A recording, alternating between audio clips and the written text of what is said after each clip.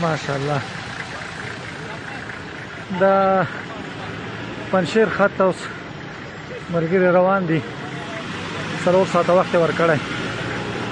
نو کچېره تسلیم سول نو خطر که او که تسلیم نسی نو بس ان شاء الله په خپل سزا به ورسیږي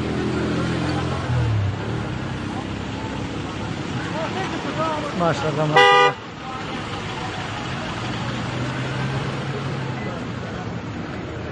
ولې صاحب مسول دی خاطر تقریبا 15 50 سلنجر یو ټانګونه دي انیم لا رسیدلی نه دي مشران ټول کمیسونو اداري نظامی ټول لا ټول سوي دي ماشاءالله خطه الحمدلله انجانب هم پکې ده